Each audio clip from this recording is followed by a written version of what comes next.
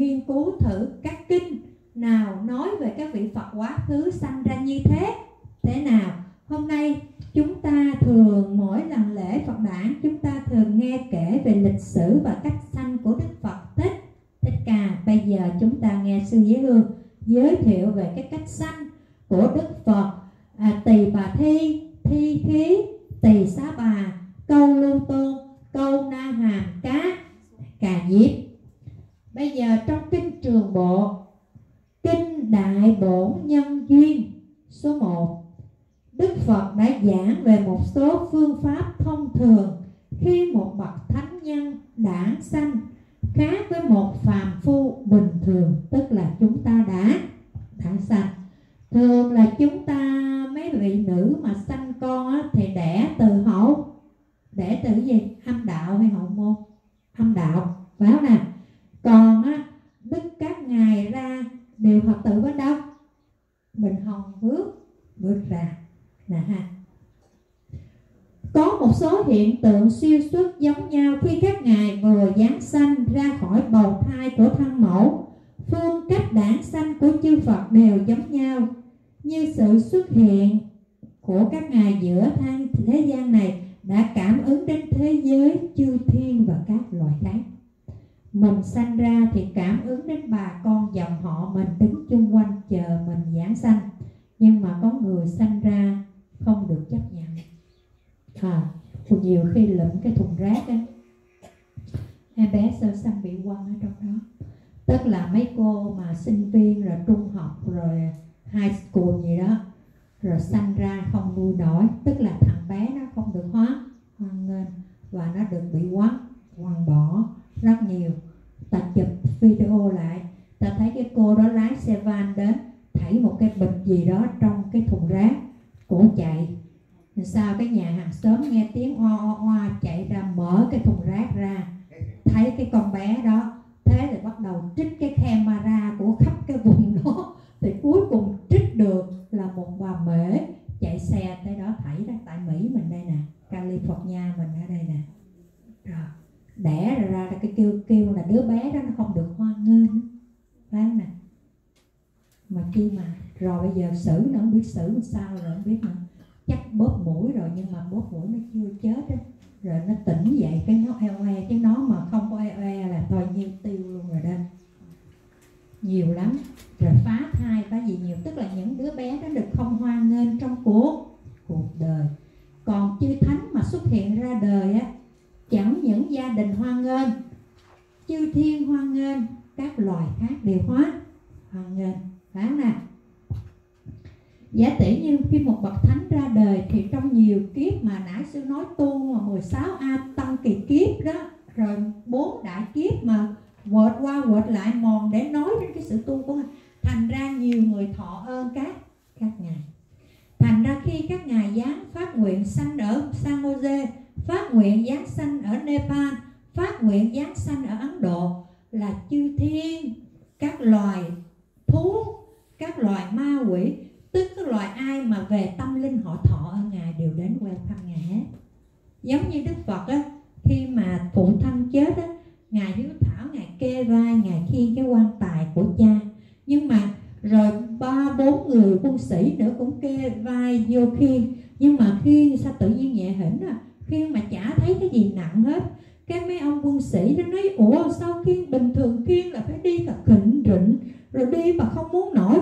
Mà sao bữa nay mình đi với ngài đức phật khi cái quan tài của vua tịnh phạn mà sao nó nhẹ giống như không có khiêng cái gì? Lúc đó phật mới giải thích rằng là chư thiên khiêng hết là mình không có khiêng tức là nhìn cái hình thức thì là phật với ba bốn ông quân lính này khiêng nhưng mà trong cái vô hình á là chư thiên khiên. Ông nói trời ơi sao khỏe vậy khiên mà không phải khiên mà chư thiên khiên mà hỏi sao chư thiên nào tốt vậy? Vì mấy vị chư thiên này lúc sống đó, người á đã thọ ơn của ta ta đã giúp cho nhiều lần rồi mà họ mong được cái dịp để trả ơn ta mà không biết cái dịp nào á. Bây giờ họ thấy ta khiên nặng quá thì đây là dịp để họ trả ơn cho nên họ kéo vai vô họ khiêng mà tại mấy ông mất, người thường mấy ông không có tay thấy không nè? Đấy, cho nên chúng ta sống ở đời, chúng ta phải giúp người, giúp con kiến, giúp bất cứ một con vật, giúp người một con, giúp bất cứ ai thể mình giúp là bây giờ người ta chưa giúp mình. Nhưng mà trong tương lai, bằng một hình thức nào đó, họ sẽ giúp mình. Như đức phật, khi vô có người kê cho khiên hết trơn ở trời đấy thì bây giờ ở đây cũng vậy.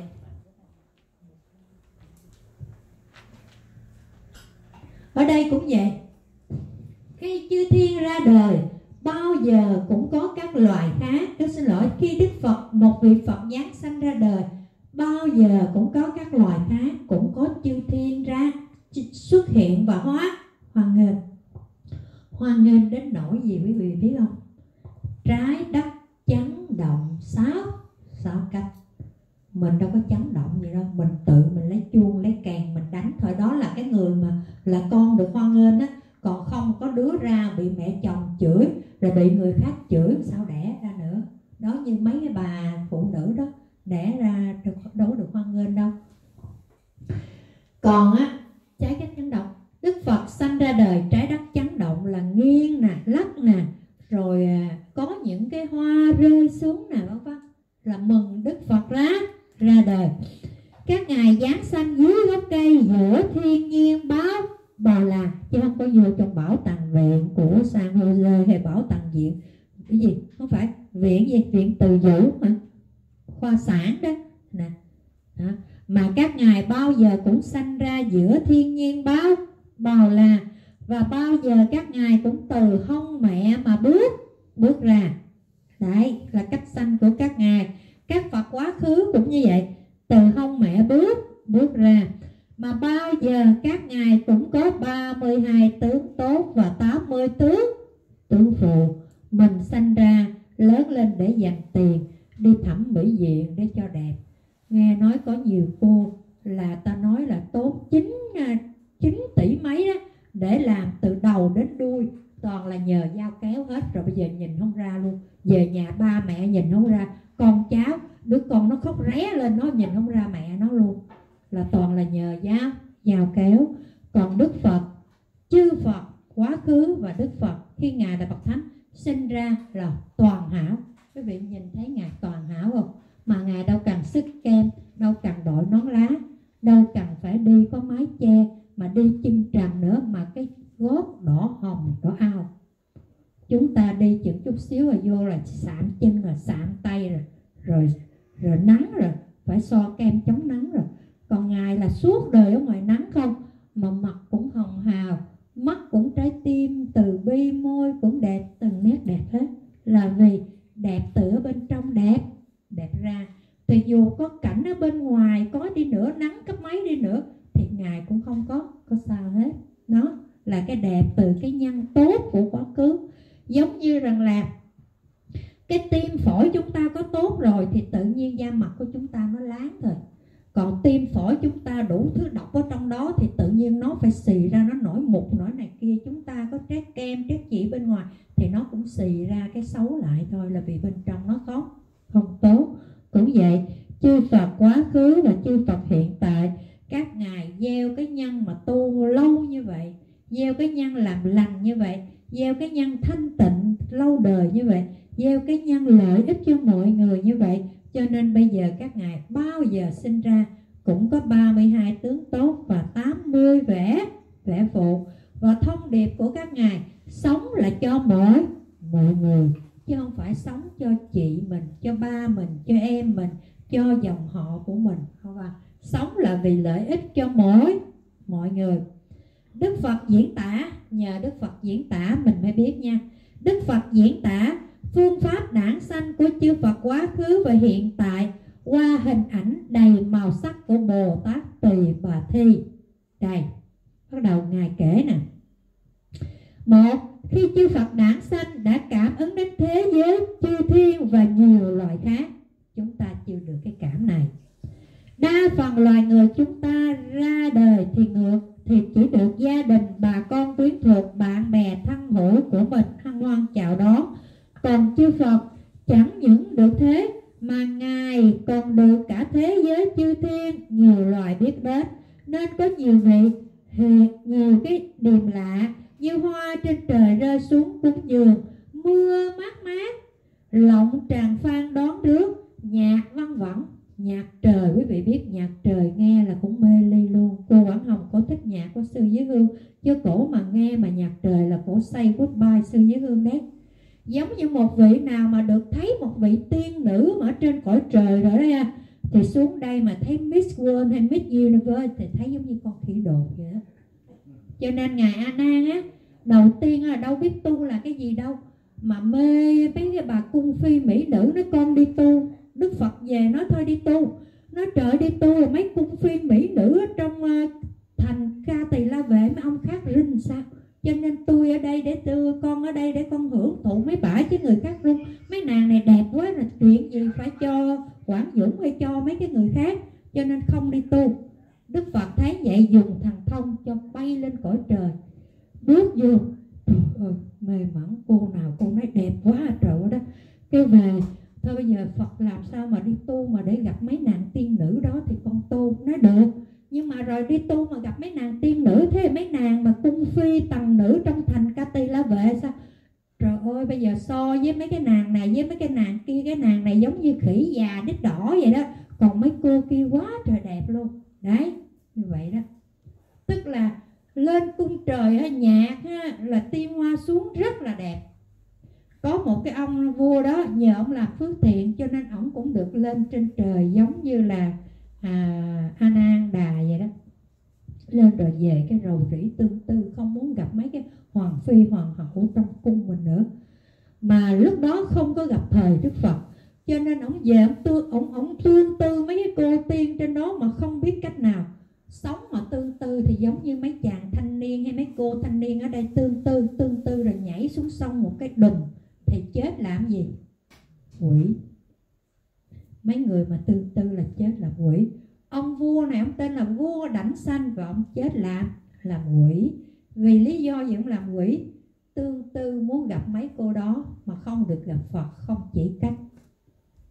Còn a nan nhờ gặp phật phật chỉ cách. Giờ muốn tu cái đó thì giữ gì? Tám thọ bột bát quan trái, trai giới, giữ thập thập thiện, ăn chay, ngồi thiền, phóng thanh bố bố thí sẽ lên cõi trời. Trước tiên ông thích cho ông dạy trước đi, rồi sau đó nói bây giờ nó có những cái nó hay hơn cả cõi trời nữa. Vì cõi trời có sống mấy ngàn tuổi, có được mấy bà tiên đó theo hầu hạ đi nữa đó, thì mai mốt cũng chết, cũng xuống đọa lạc, hết phước rồi là là chết. Cho nên có một cách tu khác nữa, hay hơn cách đó nữa, là tu gì? Đắp y giống sư dễ hương. Đấy, vô chùa đắp y giống như hòa thượng thóc thông đã đắp y vô chùa thì vượt qua khỏi những cái những cái mà rớt xuống sát xa đọa, được những cái thiền, hơn cả cái thiền đó, được sanh vô cái cõi cực lạc, toàn là những cái vẻ đẹp mà thanh khiết trong trong sáng. Giống như quý vị thấy vẻ đẹp của các bồ tát, các chư phật rất là trang nghiêm, trong khi vẻ đẹp của những cái cô gái mà bán hoa hay cô gái lả lơi ờ, mình kêu mà là gái mại dâm, thí dụ như vậy đó. Thì những cái người đó đẹp lả lơi, đẹp khiêu gợi, đẹp xa đọa, phải nè còn mình sanh sanh trong, sống trong cái cảnh phật, cảnh bồ tát, cái đẹp trang nghiêm, cái đẹp thuần túy, cái đẹp thánh thành tịnh. Cho nên nó phật mới nói, a nan con phải tu cái cách đó hơn cả, con được hơn cả cái mà ở cõi trời nữa. Thế từ đó a nan mới phát tâm xuất gia, mới phát tâm đắp đập y còn vua đảnh sanh đó tội vì không ai chỉ cách cho nên khóc rầu rĩ và chết tương tư vua mà phải đi làm ma quỷ vì tương tư cõi đó. Thì cũng như vậy một vị phật ra đời một vị thánh ra đời thì có nhạc trời có tiên nữ à, đem nước trời xuống tắm cho cho phật mình nhớ đức phật thái thái tử sẽ đặt ra. Được các vị tiên nữ được các vị trời xuống tắm đem hai dồi nước nóng lạnh tắm, rải hoa mạn đà loa, mưa chư thiên của cha nhạc trời văn vẳng nghe là mê luôn. Trái đất rung chuyển, hào quang sáng ngời, chói khắp thế gian, để chào đón một bậc thánh nhân vừa ra ra đời đức phật thích ca kể như sau đức phật tỳ bà thi từ cõi trời đâu xuất giác trần vào thai mẹ do không phải mà vào ô các ngài từ ở trên trời đâu xuất từ không phải phải bên đây vào không phải chứ không phải do cha mẹ giao hợp ái ăn mà sanh sanh con. Ngay lúc đó, cõi đất rung chuyển, ánh sáng rực rỡ trôi khắp thế thế gian. Chỗ mặt trời, mặt trăng không soi được cũng được chiếu chiếu sáng. Với bác biết chúng ta có mặt trời, chúng ta nhận được ánh sáng mặt mặt trời. Ánh sáng mặt trời chiếu đây, có thể không chiếu được ở dưới cái lòng đất này thế thì những chỗ mà ánh sáng mặt trời, mặt trăng không chiếu xuống, khi, nhưng khi có một bậc thánh ra đời, thì ánh sáng của ngài của bậc thánh đó chiếu cả những cõi mà mặt trời, mặt trăng không không đến. Rồi sao nữa? Chúng sanh ở chốn u minh, nhờ đó mà được trông thấy lẫn nhau, vì do thái tử, do ánh sáng của các vị thánh ra đời, cho nên chúng sanh ở dưới địa ngục, từ cái phương này thấy qua phương phương kia khỏi cần dùng rương rộ gì hết. Thấy chưa? Mình ở đây, tự nhiên mình đang đây, mình ngó Việt Nam mình cũng thấy lẫn nhau nhờ có một bậc thánh ra ra đời. Thấy chưa? Rồi, ánh quang bên đó soi đến cung điện ma vương. Chỗ tâm tối thảy được chiếu chiếu sáng. Bồ Tát Tỳ Bà Thi lúc ở thai mẹ, chuyên niệm không tán loạn. Các ngài ở trong thai mẹ nha, các ngài cũng ngồi xếp bằng ngồi thiền hình như là các thai nhi á, sư thấy người ta chiếu siêu âm á, các thai nhi thì như nó gì co lại, vậy phải là hai cái chân, hai cái tay co lại, nằm cho nó cong cong nhỏ nhỏ vậy phải nè còn các vị bồ tát mà ở trong thai là ngồi xếp bằng. Đây, xếp bằng giống như phật thích ca đang xếp à, giống như sư giới hương đang sư có một cái, sư cũng thích xếp bằng lắm, ngủ cũng thích xếp bằng nữa. Xếp bằng nó vừa ấm mà sao nó quen rồi để xếp bằng vậy đi học cũng vậy, đi học trong trường mỹ cũng vậy. Ngồi cái cũng xếp bằng vậy thành ra nhiều khi ông thầy mỹ hay bà cô mỹ đi tới đi lưu ta cũng lạ cái chân của mình. Nhiều khi học cái môn vi tính á, cũng ngồi xếp bằng, quen là phải lên xe, lên ngồi lại xếp bằng. Thế thì các vị thánh mà xuất hiện ở trong thai các ngài đi từ bên không phải vô vô là bắt đầu ngồi xếp bằng cho đến lúc ra thai. Chứ không phải nằm coi dúm lại đâu không xếp bằng và chánh niệm ta không tác tan loạn. Còn một đứa bé bình thường á, khi nó vô thai của bà mẹ nó phải thích cái nghiệp ái ăn nghe nhé nếu em bé đó là con gái thì nó cảm thấy nó thích người người cha. Nếu em bé đó là baby boy em bé trai thì nó cảm thấy nó thích người người mẹ. Và khi nó khởi cái tâm thích như vậy á và nó thích cái việc ái nhiễm ái bất nhiễm bất sanh ta bà không có ái nhiễm thì không sanh vào loài người này. Nó thích cái nghiệp, nó giống như ngoài đời, ta thích coi phim xét. Thì cái linh hồn của đứa bé đó, nó có duyên nghiệp với cha mẹ. Nó thích cha mẹ đang ái ăn. Do nó thích cái cảnh cha mẹ đang ái ăn đó cho nên nó mới đứng nó chờ nó chờ lúc cha mẹ ái ăn tinh cha huyết mẹ giao nhau tinh trùng chung vô rồi đó thì nó mới gá vô cái tinh trùng với tinh cha để mà nó ra cái thai thang nè còn các bậc thánh thì không có thích cái chuyện ái ăn không có đợi coi phim xét không có chờ cha mẹ giống như cái bà nội đó bà nuôi cháu mà cháu dễ tin quá mà bà thương cháu quá bà không muốn chết bà chết rồi ai giữ đứa cháu đó ai gần đứa cháu đó mà bà cứ đi lẳng quẩn lẳng quẩn cái vùng đó để mà tức là bà chết nhưng mà cái linh hồn bà không có không có ra khỏi đứa đứa cháu và bà muốn sanh và gặp lại cái thằng bé này chuyện có thật đấy rồi lẳng quẩn lẳng quẩn cuối cùng cái rồi có duyên nghiệp với hàng xóm hai cha vừa hai vợ chồng đó đang mới cưới nhau đêm tân hôn giao đêm tân hôn chờ canh hai nam nữ giao nhau bà thích cái nghiệp đó bà gá vô cái người hai cặp đó sanh ra sanh ra thì thằng bé này bắt đầu nó lớn lên, còn của bà thì mới sanh ra. Thì là gì? Bà nội trở thành nhỏ hơn hơn cháu. Mà do thương đứa cháu này, thành ra lớn lên, tự kết thân với cái thằng bé này. Gia đình có gả đi đâu đi nữa, không chịu, mà chỉ muốn gần với cái thằng bé thằng bé này. Ghê lắm, anh coi mấy cái luân hồi nhức đầu lắm. Và từ bà nội, bây giờ trở thành cái dạng gì? Vợ. Tức là lấy cái đứa cháu này. Nhưng mà bằng cái thiên nhãn thông quý ngài thấy được cái quá khứ biết rằng là vì sao mà không lấy người khác mà lấy người này là vì kiếp trước ta đã từng là bà cháu lắm lẫn nhau. Nhiều chuyện lắm nhiều chuyện lắm mà những cái chuyện này có thật đấy. Chuyện này có thật đấy. À, à, sư có giảng một đề tài sống thật. Đó rồi cõi ma vô hình chuyện có thật ở Santa Ana đó ở Cali đó. Những cái người mà chết chết rồi tưởng chết luôn, không ngờ sống dậy đó. Thì sống như vậy, họ, trước khi họ sống dậy và họ thấy được những cái mối quan hệ đó là vị này là nhân duyên như vậy đó, là những người có thật học kể đó. Quý vị muốn coi lên youtube, bấm cái tựa đề cõi ma vô hình. Cõi ma vô hình. Rồi. Thì như vậy đó, các bậc thánh từ bên hông phải bước vô và các ngài ngồi xếp bằng, chánh niệm, không có khởi ái nhiễm, không có khởi cái dục tâm. Và và khi các ngài được sanh ra, các ngài cũng từ bên hông mẹ bước bước ra. Thường có bốn vị thiên thần tay cầm và qua mâu, hộ vệ, mẹ ngài. Dẫu loài người hay loài phi nhân, không ai có thể xâm phạm khi cái người thân mẫu đó mang thai thánh nhân thì không ai xâm phạm được được vị đó. Thân mẹ được an ổn không có não loạn trí tuệ ngày càng càng thêm. Mẹ của xá lợi phất sau khi mang thai ngài xá lợi phất tự nhiên thông thái trí tuệ giống như là một bậc triết giả giống như một học sĩ, học sĩ. Nhưng mà bình thường bà chỉ là cái người nội trợ nấu bếp thôi không biết chữ nghĩa nhưng mà mang thai vì ngài xá lợi phất là trí tuệ đệ nhất trong đạo phật của chúng ta, cho nên cổ trở thành quyền bác. Uyên bác nói năng rất là khéo léo, quỷ chuyển tất cả triết lý trên đời gì cũng thông thạo hết. Nhưng mà khi sanh ngài ra rồi thì cổ trở lại bến bình thường. Đó như vậy đó.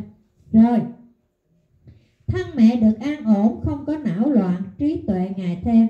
Mẹ tự xem thai mình thấy rõ thân bồ tát có đủ các căn tốt đẹp, như chất hoàng tía không có kỳ tích. Quý vị nhìn lên đức phật các ngài bên đây, thân vàng tía không theo này. Vàng tía tức là chất bá, bằng vàng, không có tỳ vết. Khác nào, người có mắt sáng, nhìn vào đồ lưu ly trong sạch, trong suốt, trong ngoài không có ngăn ngại. Bồ tát tỳ bà thi, từ trời đâu xuất, dán vào thai mẹ chuyên niệm không tán loạn, khiến tâm mẹ lúc nào cũng thanh tịnh, không có dục tưởng, không bị lửa dục thiêu đốt. Mẹ ngài giữ trọn năm giới.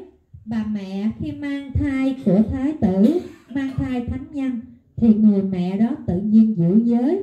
Tự nhiên không thích việc dâm dục, tự nhiên không thích việc ái nhiễm, tự nhiên không thích việc phá giới việc không thanh tịnh.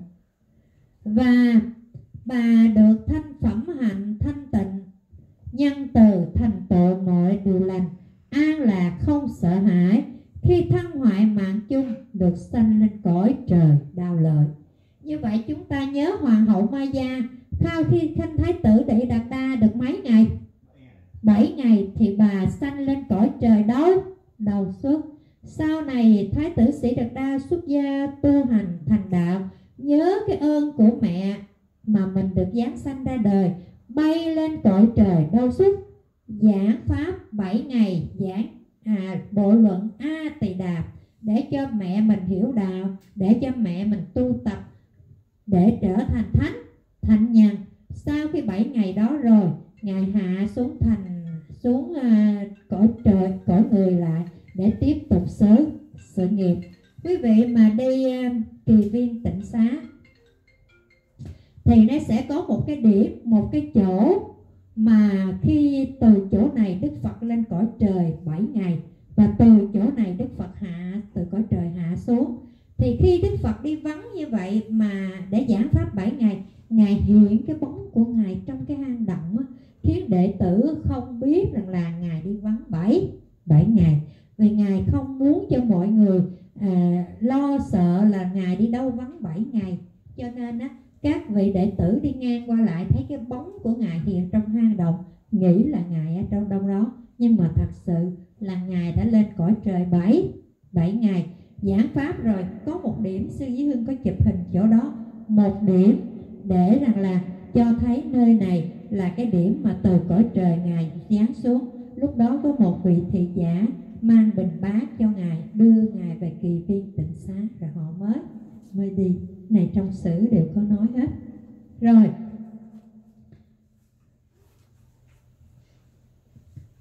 Lúc bồ tát tỳ bà thi sinh ra, chư thiên ở phía trên, giữa hư không, tay còng lọng trắng quạt báo để che lạnh, che nóng, che gió, che mưa, che bụi bặm. Có hai suối nước, một ấm, một mát, hòa với nhau. Tự nhiên dưới lòng đất tuôn ra tự nhiên dưới vội lên một cái nóng một cái lạnh hòa nhau thì nó vừa để cúng dường tắm rửa cho các thân bồ bồ tát sanh ra thì nhiều khi máu mũ như nhớt ví dụ vậy. Thì ra là tắm cho các ngài.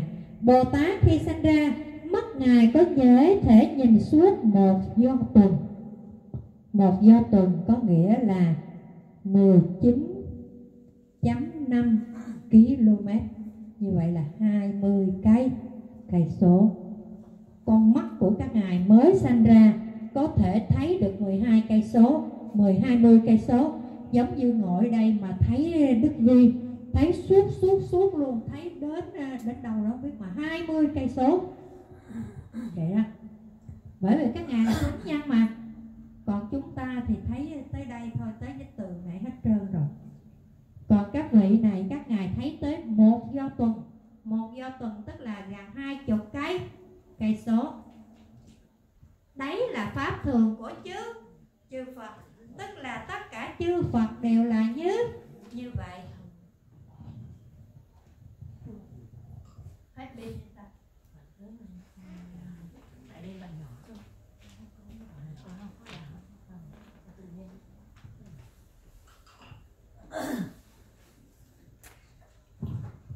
Rồi, số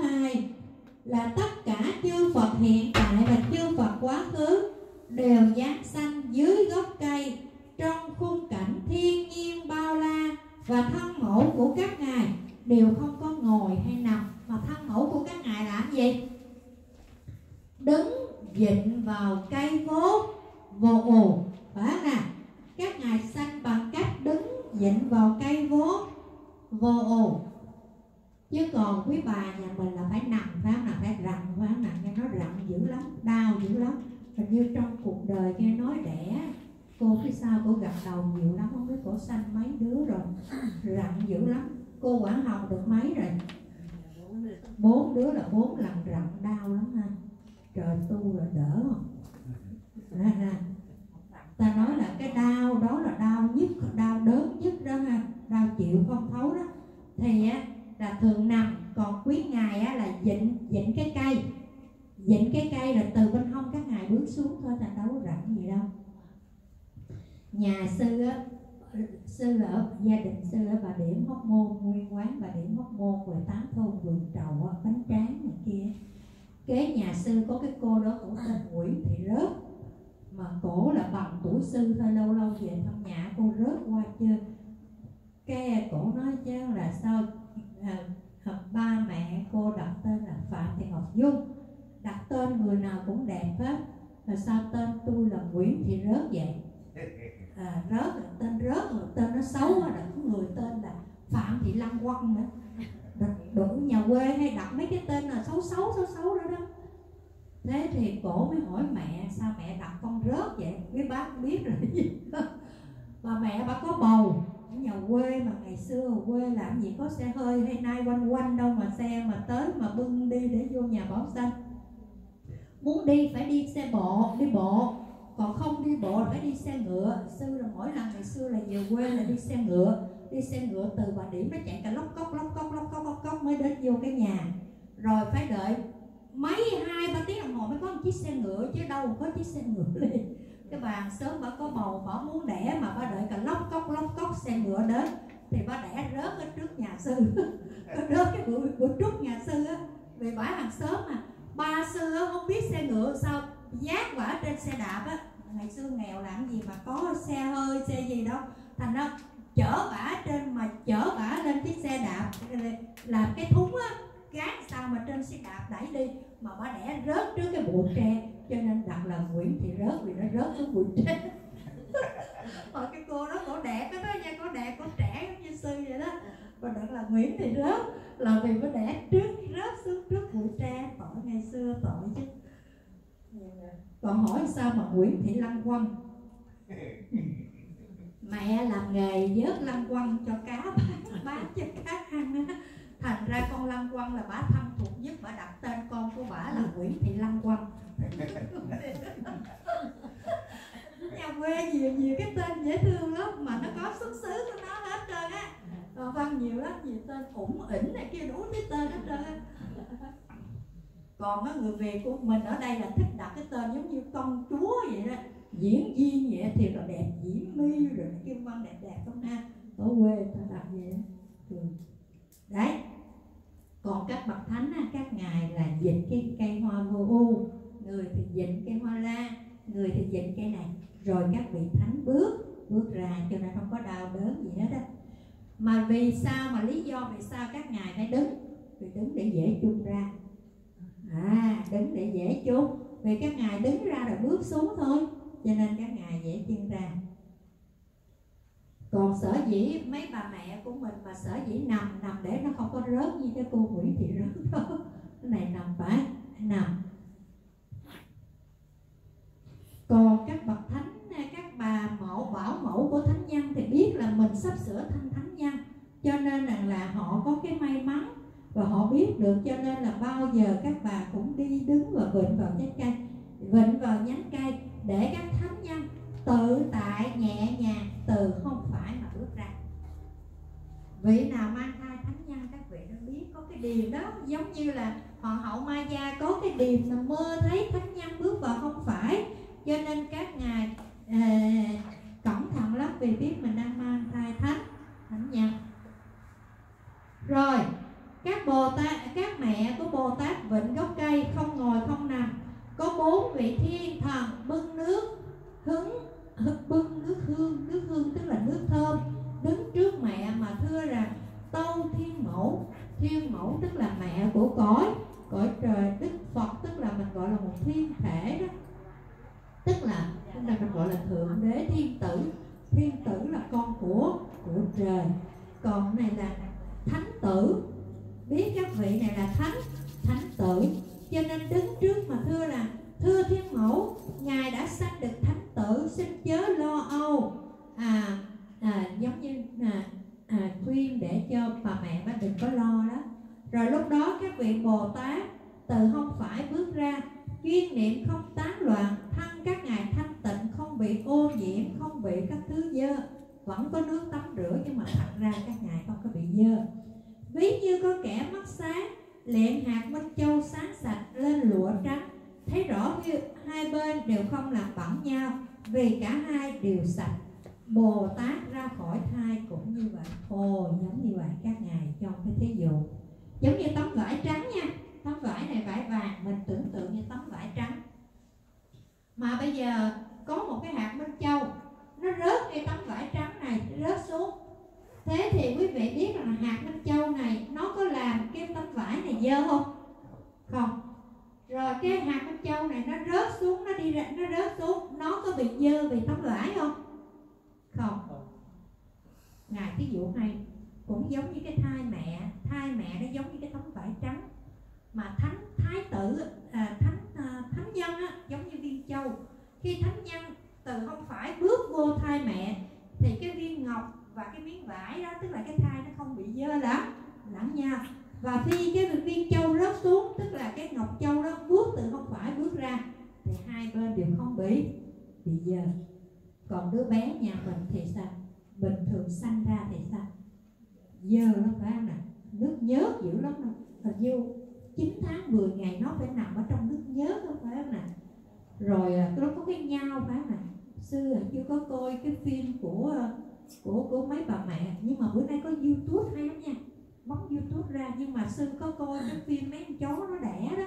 Mấy con chó mẹ nó đẻ đó. Thì mấy cái người á mới coi đây nè. Nhiều khi ngồi phi trường rảnh rảnh nó đâu tự nhiên nó hiện lên nó hiện lên cảnh chó là xanh cảnh một anh thanh niên à, giúp cho con chó nó đẻ. Thế mình ngồi mình coi thấy cũng hay.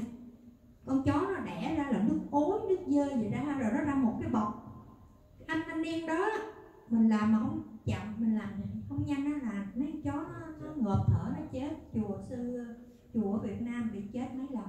Vì nó ra mà con chó đó nó không biết không có ai thì nó phải biết nó xé ra. Hình như con nhiều con chó mẹ biết xé phải không? Nó biết không vậy? Hay quá ha cái chức năng nó hay ha. Khi nó đẻ mình đâu có biết nó đẻ đâu nó chung gốc kẹt cái gì nó đẻ rồi nó không biết xé bọc ngợp thở chết còn anh thanh niên này anh biết cho nên trong cái cái cái phim youtube người ta khen anh thanh niên là và giúp con chó nó đẻ. Mà nó đẻ mấy đứa bảy đứa nó bảy cái bọc vậy. Rõ không? Cái nó vừa mới ra rồi cái ảnh lấy à, cái dao ảnh rạch nhẹ cái cái chó con lòi ra. Rồi nó có cái nhau phải không nè cắt cái nhau nó rồi lấy cột lại. À, cái rúng á cái rúng á cái rúng á. Lấy cái kéo cắt cái rúng cái rồi anh hút nó lại giống bột cái sợi dây. Rồi anh lấy cái thuốc gì anh xoa xoa trên cái rốn đó. Rồi từ từ cái nó vững lên nó đi tới được. Đấy là cũng hay đó chứ coi hay. Là mình thấy nó cũng dơ lắm. Nước nước máu nước mũ nước nhớt nó ra một bọc mà tội chứ. Con chó tự nó uống lại mấy cái nước đó. Không biết cái bác có coi cái đó tự nó nó liếm lại mấy cái đó rồi, rồi tự nó nó liếm lông cho chó con của nó coi mà mình thương chứ mình thương chứ con thương liếm lông mấy chó rồi nó khô rồi chó con bắt đầu đứng rồi, tự nhiên con chó con tìm cái vú của con chó mẹ bú hay ghê chưa? Tự nó đâu ai dạy đâu. Tự nó dò dò tìm cái vú mẹ nó bú à đó rồi tự vậy là tự nó phát triển đâu cần ai dạy đâu. Mà có con người giúp nó không có con người giúp hình như tự nó cũng tự nó. Trời xanh trời xanh voi xanh cỏ đó mà coi mấy cái đó thương. Thì ở đây cũng vậy mình thấy cái bậc thánh nhân sanh ra không có bị dơ giống như là chó xanh hay là con người xanh mời nhờ cô à, cô thanh ngọc. Là Phật con muốn nhờ sư cô giảng là Đức Phật. Sanh ra là thế giới sáu rung động sáu cách là thế nào? À, cái thứ hai là theo con có đọc kinh thì con thấy các vị Bồ Tát thường thường quá sanh. Như ngài Dược Dương và Dược Thượng Bồ Tát thì ngồi tự nhiên ngồi xếp bằng quá sanh ra chứ không có thai sanh. Hay gì là Phật dược vương dược thượng mà hóa hóa thân hả? Quá sanh tự nhiên tự nhiên là sanh ra rồi ngồi xếp bằng rồi quá sanh ra trong cung vậy chứ không phải là do cái thai sanh. Ờ ok. Rồi thì bây giờ hóa sanh á hóa sanh ở dưới địa ngục cũng gọi là hóa sanh. Khi chúng ta chết ở đây mà chúng ta làm việc ác thì ở dưới địa ngục ồn ồn tự nhiên hiện lên mình ở dưới đó. Mà mình chết ở đây mà mình niệm phật á thì tự nhiên mà mình niệm phật tu tập đàng tu tập chân thành đa tiết thì mình cũng hóa sanh thành cái hoa sen xanh, hoa đanh đỏ gì trên cõi à, cõi cực lạc á. Thì bây giờ nếu mà cô thanh ngọc nói rằng là dược vương, dược thượng hóa sanh thì cũng giống như nãy sư nói hóa thanh trên cõi cực cực lạc. Thì cái đó mỗi ngày có mỗi cách sư không biết à nhưng mà nếu hóa sanh là như vậy, hóa sanh có nghĩa là không mang thai, còn chúng ta mang thai sanh ra thì gọi là thai thai sanh.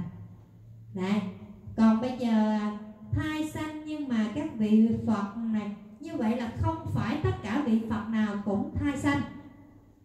Theo như ý của cô thanh ngọc, vì có những vị hóa sanh.